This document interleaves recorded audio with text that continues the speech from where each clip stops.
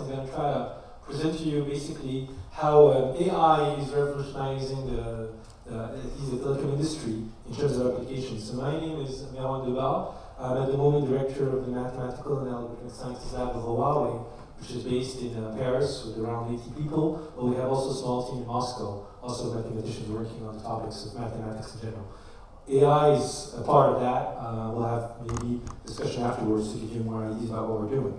Okay, so let's go back a bit about, about the roots. As you know, uh, AI is, uh, a lot of people put it back to computer science field. You have to know that also in the information theory field, and especially in telecommunication, it dates back, at least for us, to a paper of uh, Shannon, which was published in 1949, which gives you basically uh, the, the, the, the, the, date with respect to those uh, landmark papers related to also 1948 of game theory and also of information theory of von Neumann and also Shannon.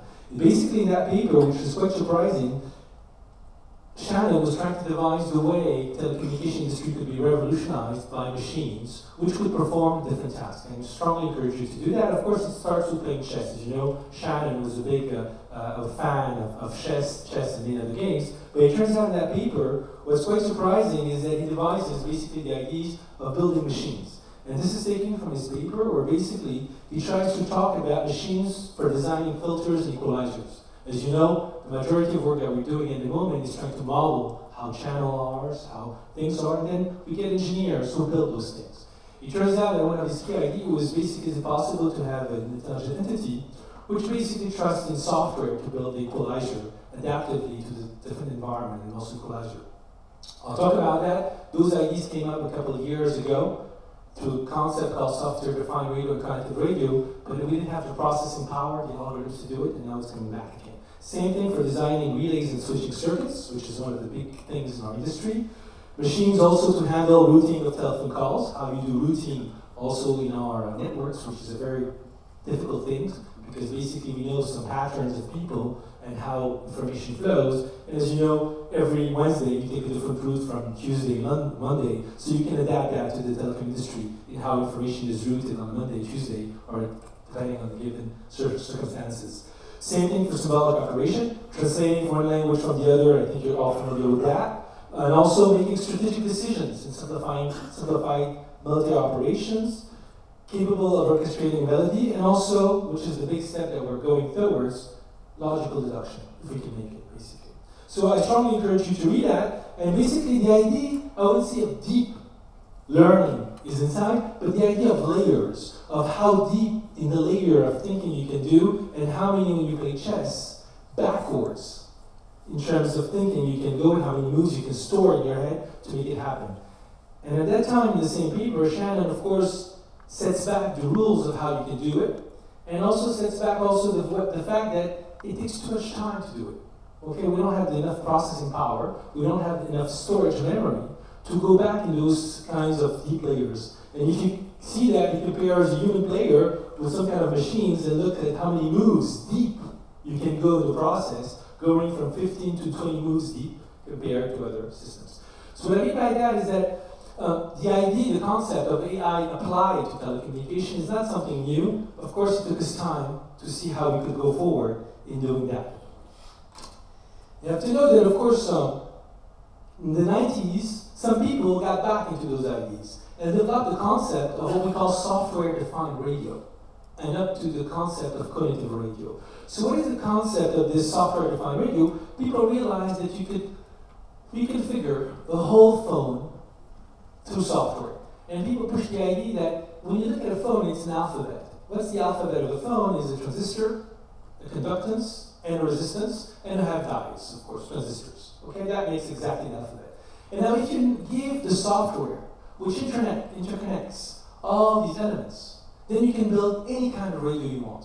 There's nothing about 5G, 4G, 3G. You just need to upload the software which reconfigures your phone to the new technology you want.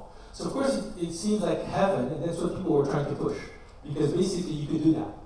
The second thing is how to do that intelligently.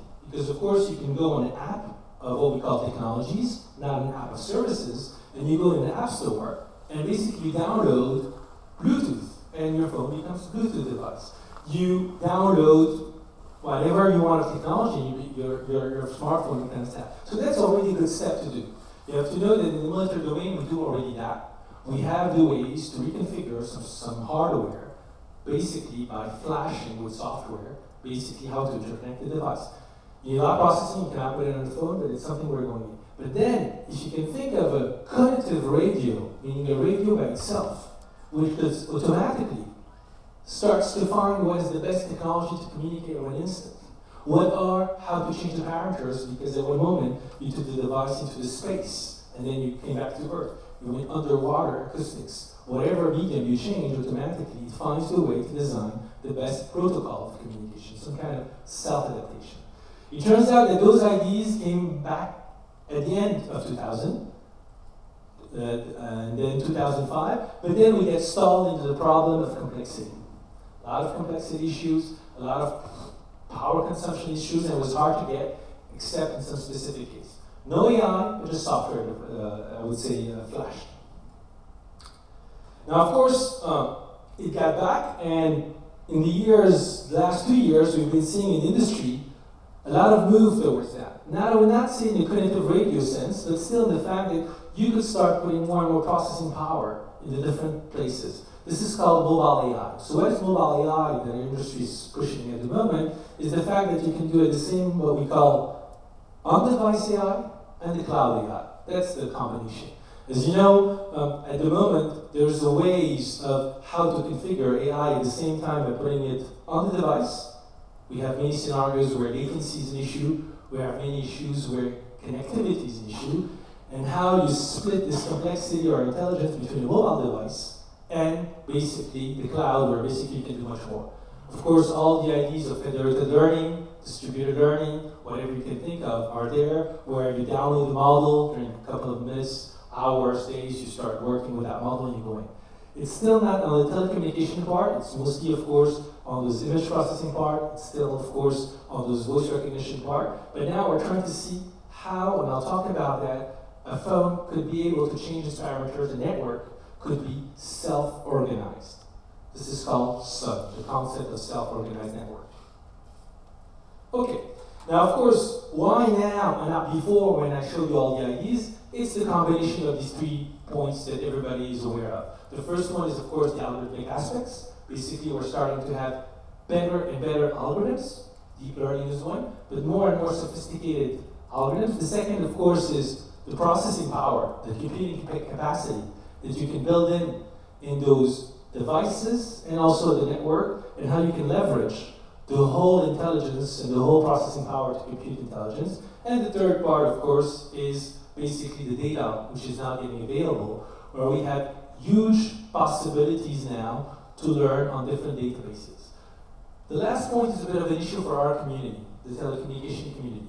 You have to know that we've, we've been, and I've been also one of the guys inside, not too open. And one of the reasons is, as you know, we have many problems where we take care of our clients and we are still skeptical compared to other industries of opening our data. As you know, the best way to progress very fast is to open your data. On the first two points, I think we're making a lot of progress. Basically, at the algorithmic level, we have now more and more sophisticated algorithms running in our network. Second is, of course, the computing power, computing capacity. I think our industry is the one leading that thing in general. The third one is so-so. We still have a hard time when uh, academics come to us and say, okay, we want to play with your data. We're a bit fearful about how to process and how to make this happen. Okay. Now let's see about our industry. What is our industry about? Well, basically you have to know that whenever you have something called a base station, an antenna, as you can see here on the left, it's something that transmits in a medium which is quite, I would say, uh, random. It turns out that in our network at the moment, when we start operating a network in general, we have a lot of data. We have three types of data. The first type of data is what we call the network data. So what is the network data? Well, basically, it's all the signaling that you have. Okay? Basically, we know when a handover happened, meaning a guy is moving from one antenna to the other. We don't know who it is, but we know that there's a lot of signal being triggered at that point there. We know exactly when traffic is getting more and more happen. We know basically when people are synchronizing on the network, when basically you synchronize your app. All these information, we have it. We don't have specifically what kind of app, but basically all that signaling enables you still to conduct better and better proactive schemes. Second thing that we have is user data. There, there's two set of people. There's the operators, which own the data. They have user data. And then you have basically the manufacturers of networks, where basically we don't own the data. In general, we can only rely basically on the information that the operator gives us.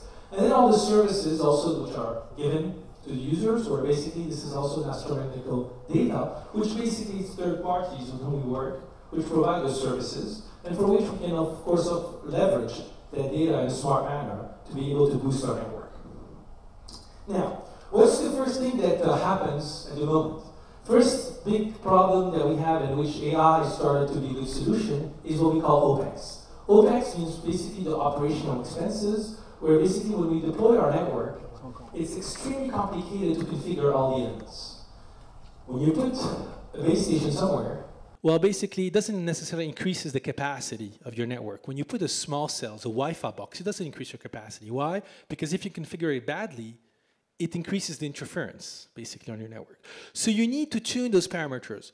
In our business, we have what we call radio network engineers, which is called radio planning, which go on the field, spend time with a truck, measuring, asking to change the position of the antenna, to do a bit of tilting, changing the different parameters. This takes a lot of time, a lot of money.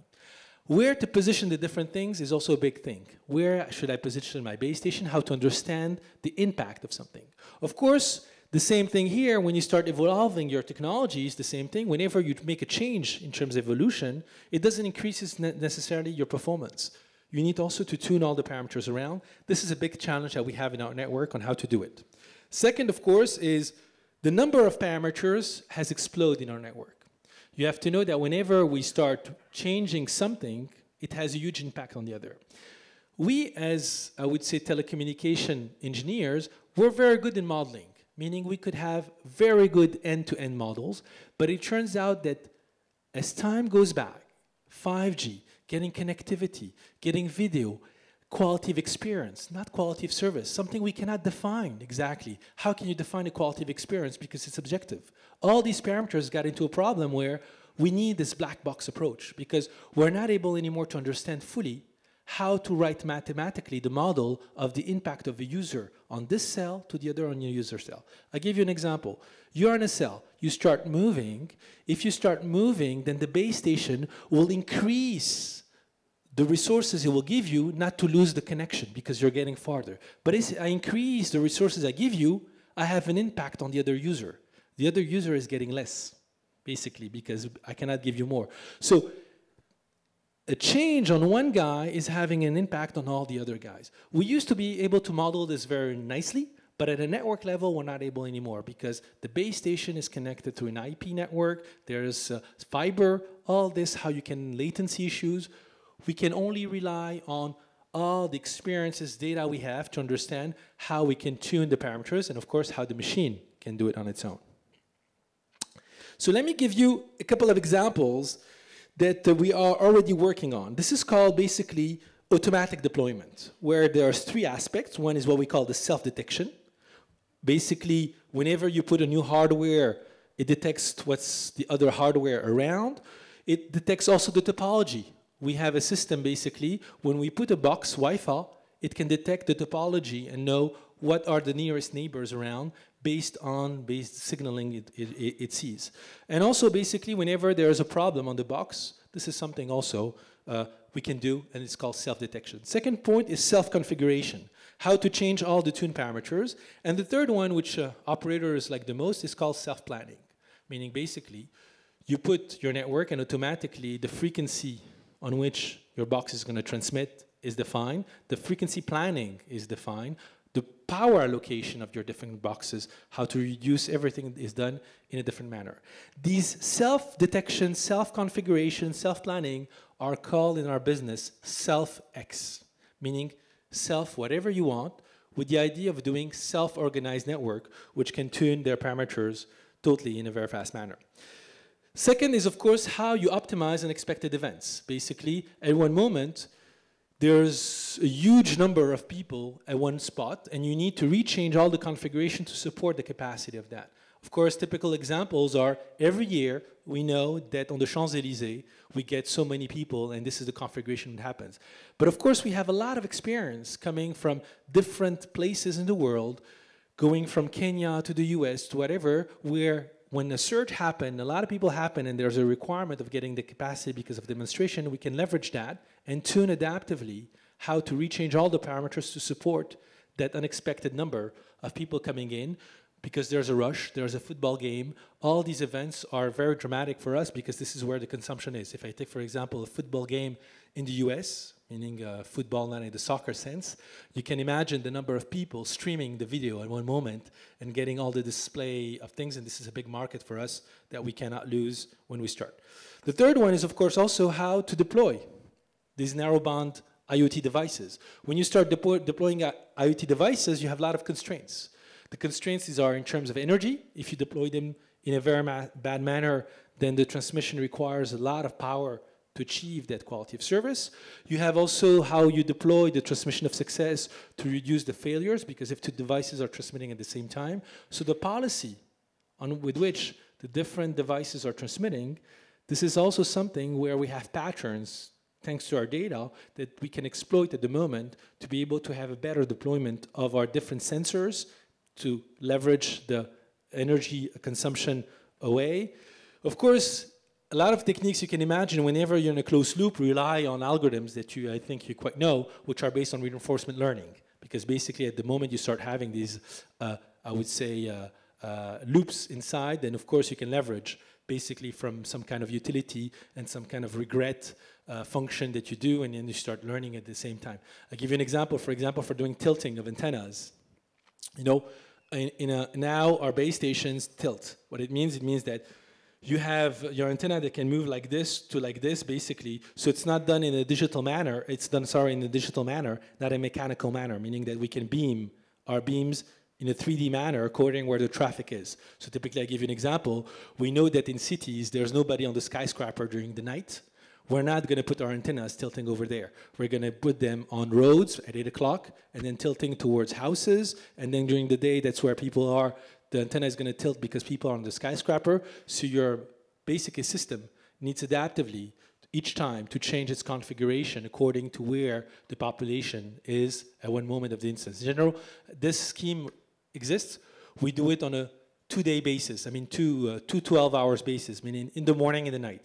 It's very hard to make this function very fast. In general, it's day, night, day, night, these patterns that we exploit. We're not able to exploit patterns which are extremely fast uh, uh, going for that. But you could think of very good examples. This is already something that we're pushing at the moment of learning that the fact that you are under a tunnel and then we pre-buffer basically the video in your mobile before you go under the tunnel to avoid the fact that you don't have any quality of service during when the time you're going under a tunnel. These are examples, uh, uh, uh things. Of course, the KPI anomaly detection, where basically uh, we start trying to design better tuning of the parameter to know, basically not on a fixed part, as you can see on the left there, you have basically a fixed threshold in general, and then you start leveraging whenever there's something happening. And of course, what we do now is more adaptive, where the threshold can be refined in a very clever manner depending on the circumstances. And these are things which are already running in our network to be able to better uh, detect whenever there's a change. There's also what we call lo uh, localization accuracy improvements. You have to know that we are also able now to know when you are in a car, when you're outside a car, we don't know exactly who you are, but we know that you're going in a car, thanks to the signal or the RF signal. That you get into a building, you're out of the building, you're located somewhere, basically on the traces we have. These are techniques related to something uh, over the past called fingerprinting, but here we do it more on the radio. Fingerprinting means basically the signature of your signal, RF signal, enables basically to, to know where you're localized. Of course, we use then all the patterns that we have to be able to refine basically where the user can be localized. Of course, localization is one of the big businesses for us, you have to know, because based on localization, as you know, you can build up a lot of services. For our issues, it's more about better quality of service, because if we know basically in which environment we are, we can put you on another network. We can basically change the parameters of transmission, such as we can build up basically the signal towards uh, your case. And I'll finish with this example. I know I'm running out of time. I'll finish with this example, which is also very interesting, is what we call multi-user MIMO pattern optimization, which is also something that we're doing.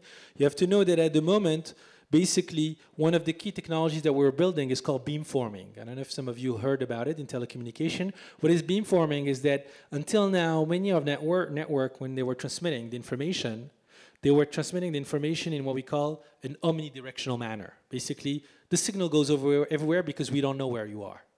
Okay, basically we don't know. Now, to improve the rate, one of the key technologies called beamforming. We're able to create a wired link in a wireless link, where basically the antenna, thanks to technology called MIMO, beams exactly towards the destination. So you're not interfering on other people. I can exactly point towards you.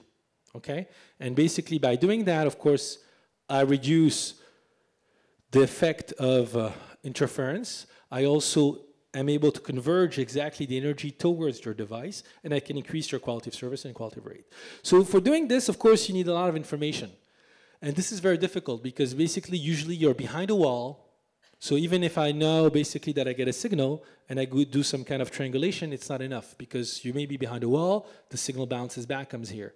So of course, we're using all this uh, training to have a better location to update the initial beam, do the modeling, evaluation, and then every time we can refine and do some beam pattern. The second thing is that we don't necessarily need to recalculate every time the beam, because this is done in a digital manner. We have already a code book of beams, which are due to all the beams that we gave. We know that at 5 o'clock, basically, on that scenario, we have to beam there because every time, every day at 5 o'clock, this is where the information is getting. So basically, we have the code book to beam on that thing. And then at 510, we know what to do. At 525, and then we learn progressively by doing these techniques. So this is also one of the key technologies which is being pushed in 5G to blast the rate by having more localized transmissions towards my destination to this technology of beamforming.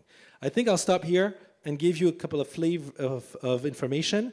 I'll just finish with this important information. You have to know that our industry is also taking AI into standardization, okay? Which is something quite new because you can ask yourself, why are you going to standardize? So ETSI there is what we call the European Telecommunication uh, Standard Institute, which is located in Sophia Antipolis. Since February 2017, there's a task group working on building some kind of possibility to have access on some of the point of the network to data, not user data, but at least signaling data, to be able to capture it and run algorithms, AI algorithms to improve the network. So this is very important to know what are the different parameters we're going to standardize to be able to capture them so that our network works. And here I just gave you the evolution which is on our industry being done, where basically we want to go from what we call a self-decision making using event conditional action policy to something in the declarative midterm which is self-decision making with declarative policy statements.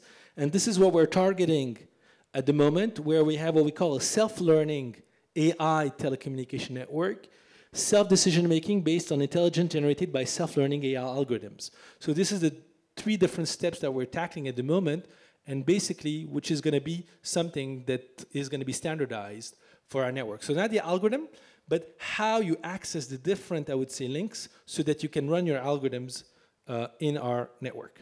I'll finish by that. Okay. Thank you very much, Merouane. Please. Yeah, you can keep. Yeah, join me here. Okay, just uh, we have a few questions, but I'm going to start with one, one specific question from your presentation. Looks like the main challenge is more regarding how to treat uh, all this large volume of data with different type of data. So that's where you are now in the, in the stage of industry, more than trying to find predictive models or developing the models. Can you tell us exactly where you stand with these different stages? Well, both. First of all, you have to know that uh, basically, uh, uh, so there are what I call the algorithmic part, uh, where it's still, still work is going to be done. We don't have necessarily structured data. It sounds um, crazy, but our data someone sometimes is missing, sometimes is wrong. Why? Because we have a lot of errors in our network. When you have a feedback, basically, or an ACK/NACK, you generate some data, but the data is wrong. Okay? So that's basically a lot of data that you have sometimes is either wrong or missing. And basically, you need to capture with robust algorithms which are able to do that. Second, you have to know that even though we get a lot of, of data, uh, many, many, even us work with subcontractors. Okay, that's how our networks are done. Meaning we don't have necessarily people working in in I, I don't know in Algeria or other ways. We have some contractors These subcontractors, when they build the the big data sheets, they're not aware that what they're putting on the data sheet is very important for us. So they just do it randomly. They just put like I did a 9.5 and then I did something and then it turns out that very often that data is either wrong, badly written, and we need to understand basically how to use it. So we train our network sometimes with very wrong data and we need to find algorithms which are quite sophisticated. That's the first thing. Second thing, maybe also important, I talked mostly here because I think you were fed up with the phone but you have to know that Huawei does at the same time the carrier business, but also the smartphone. We control nearly the whole chain, meaning going from the smartphone. I don't want to talk too much about the phone because I think you have so many talks about uh, and about the phones. You have to know that, that on that part, also the fact that how you do on-device AI is an issue for us.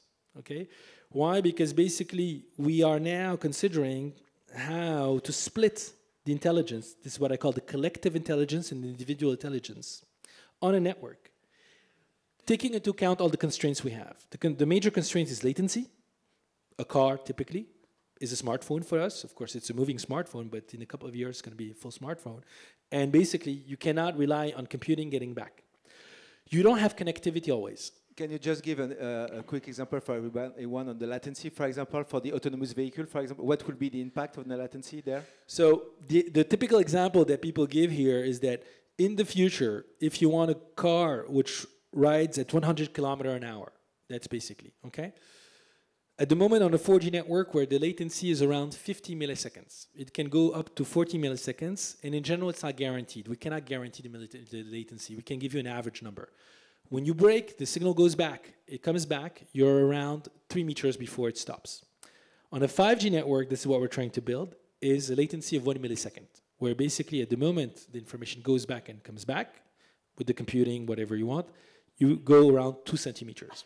So the latency requirements are around one millisecond. So in one millisecond, it's quite difficult. You need to have something on, uh, on the device. So whatever device it is, it can be, of course, a drone, it can be something else. And you have to know that, of course, cars are going faster and faster because of all these uh, productivity issues, let's say this way.